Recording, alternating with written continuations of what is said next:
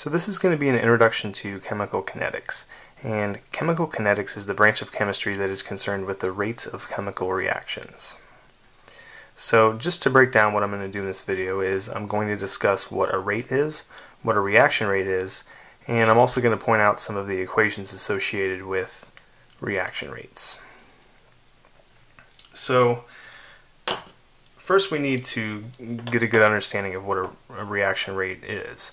So when we talk about a rate of a chemical reaction, we're talking about how fast the reaction occurs. And as a result, we usually end up dividing by time. So these two examples here, the speed of your car and your hourly pay, those are both rates because you're dividing a change in some quantity per unit time. In the case of the speed of the car, you have a displacement, delta x, and you're dividing that by time. And in the case of your hourly pay, you're taking the change in the amount of money you make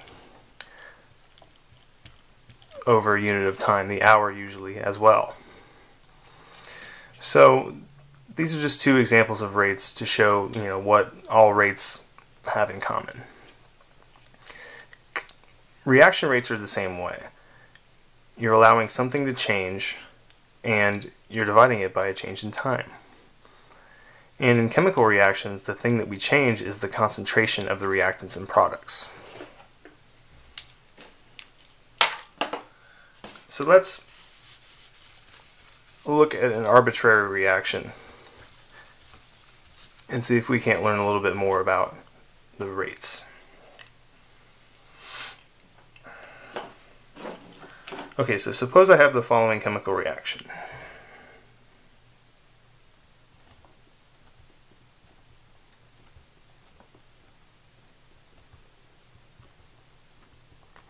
H2 plus Br2 yields HBr. And I gotta put a 2 here to balance it. There we go. Okay. So on the left side on the left hand side of the equation you have reactants. Those are getting used up, and on the right hand side of the equation you have products, and those are becoming formed as the reaction proceeds. So let's sort of look at the concentrations of these things graphically. So let's say I want to look at the concentration of HBr and the concentration of H2 over time. So I'm going to construct a concentration versus time plot. My x-axis is going to be time. I'll just say that's in seconds. And my y-axis is going to be molar concentration. So concentration in moles per liter.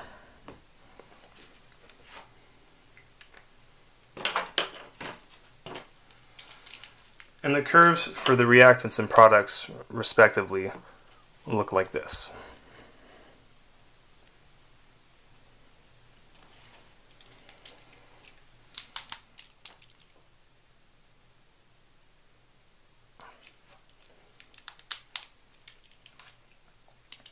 Now, can you guess which curve corresponds to which?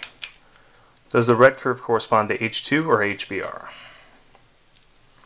The correct answer is H2. Why? Because like we said earlier, the concentrations of the reactants are decreasing. The reactants are being used up as the reaction proceeds. And notice that this curve sort of represents that. Over time you have a decrease in concentration. The blue curve is for is for the concentration of HBr.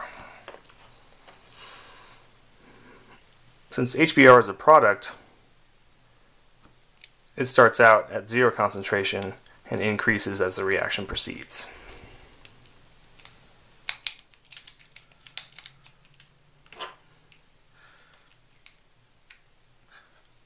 So how do we find a rate of a reaction? That's the question. Generally what we do is we can pick two points. So let's say I want to find out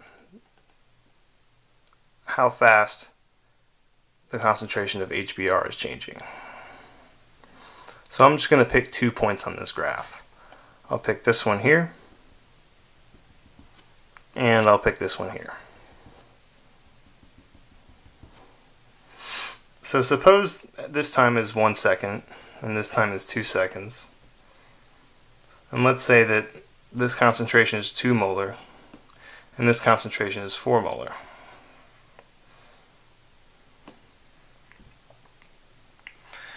To find the rate, all you do is you just find the slope between these two points.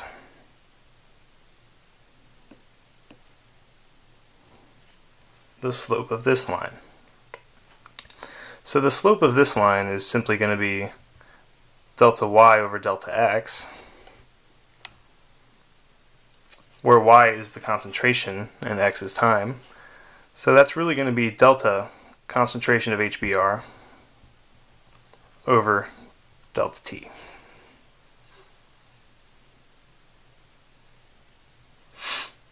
Okay. So we just found the rate of formation of HBr using the slope of the line between these two points. Notice as you reduce the interval between these two points, as your time interval becomes lower and lower and lower, your rate, you get a, a more accurate result as to the rate of your reaction at any specific instant. So we've just found the rate of formation of, we've found an expression for the rate of formation of HBr. But when it comes to reaction rates, we actually have to account for, for the stoichiometry of the overall reaction. And there's really only one equation that you have to know when you consider this and that is the following equation.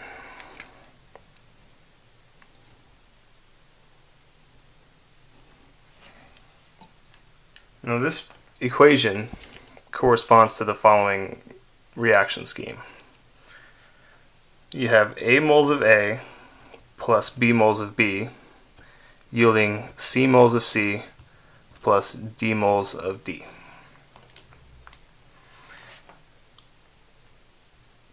A, B, C, and D, the capital letters, are the reactants and products themselves.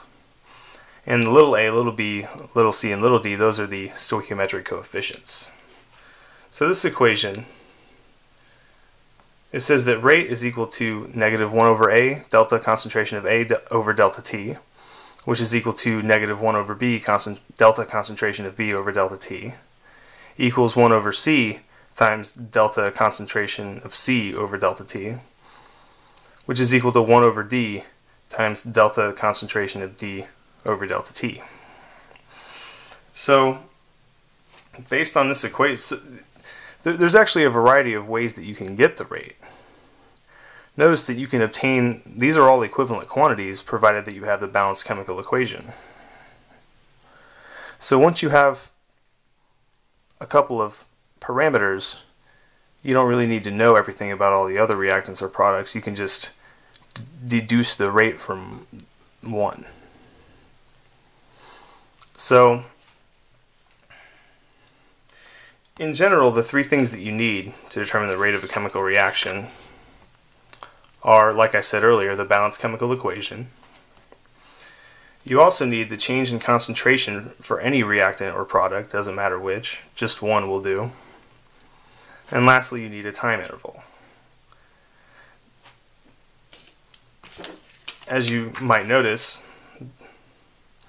the three variables in this equation here in each of these terms is the coefficient, the change in concentration, and the change in time. And of course, in order to get that coefficient, again, you need the balanced chemical equation. If the, if the equation is not balanced, then it'll be wrong. So Alright, I hope this video helps and some more kinetic stuff on the way.